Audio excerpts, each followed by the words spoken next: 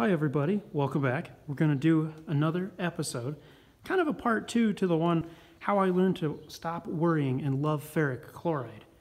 But this time, this one's muriatic acid. So I got this knife, it's all covered with scale.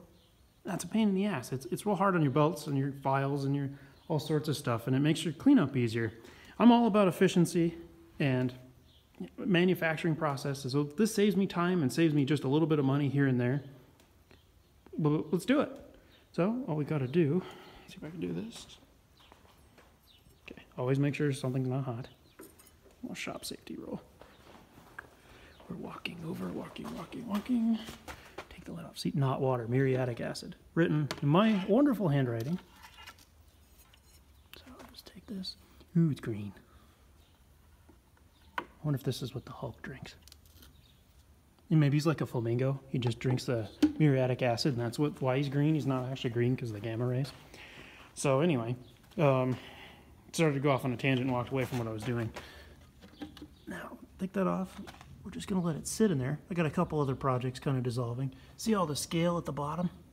This stuff works great. takes about an hour, maybe an hour and a half, compared to vinegar, which is overnight, and I'm lazy and I don't want to have to smell vinegar. Uh, I think this is about 50-50 mixed muriatic acid to water. And I wouldn't do much more than that. You can if you want. But another thing to keep in mind with this is to keep it ventilated.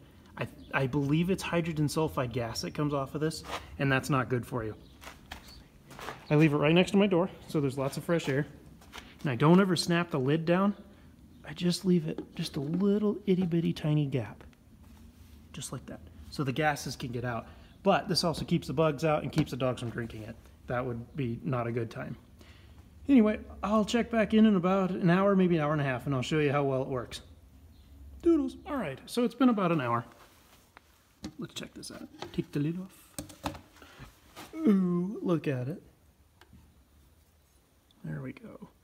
See, the scale just gets eaten off quite nicely. I think that's probably pretty close to being good. We'll give it a little slosh. Oh my god, I should be wearing safety glasses. Much of this stuff in your eyeball feels great. There we go. Ooh, that's kind of a cool finish. I'll have to make one for myself with that kind of finish. That's cool. Kind of Mordor-esque. That'd be fun. Alright, so after this, I gotta get all that off of there. And come over here. I should have planned ahead. Set that knife there. I don't think it's going to hurt wood. This is my my tube of baking soda and water, the neutralizing agent. Let's find something to stir it up with. Ooh, excuse me. That was lovely, wasn't it? Hmm. See my junk pile. Lovely, lovely old junk pile. I think this will do just fine. Some old. I was trying to make a tent stake and it just bent and I got mad. Oh well. Always works better if you heat it up. Stirring, stirring, stirring.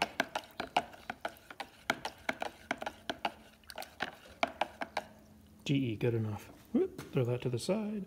Grab this by the end. See it foam up. Slosh that off a little bit now. Set that up here.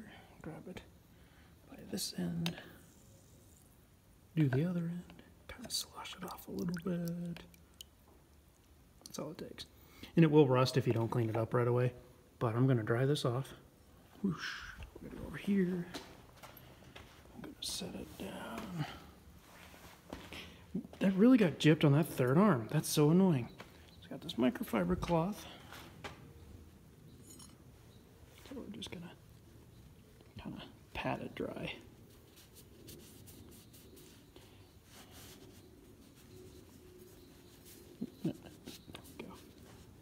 Caught on that corner.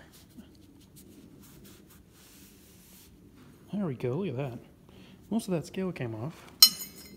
Set it down here. Set it down here. I'm just probably getting motion sick. The magnets bet it.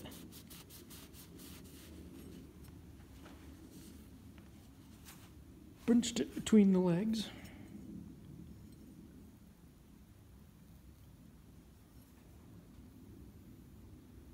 Focus. There you go. Not too shabby.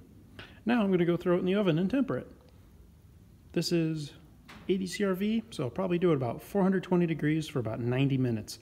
I might do a second uh, cycle of it. We'll see. Depends on how lazy I feel. And I, I think 90 minutes at a good, good soak for a little thin knife like this should be okay. Um, if you guys have any questions, let me know. Or let me know any of the weird facts you know about muriatic acid, because I really just don't know enough about it. I know it's pretty caustic and they use it to balance out the pH levels in a pool. And if you throw, what is that stuff called? Uh, steel wool into it, it'll make ferric chloride.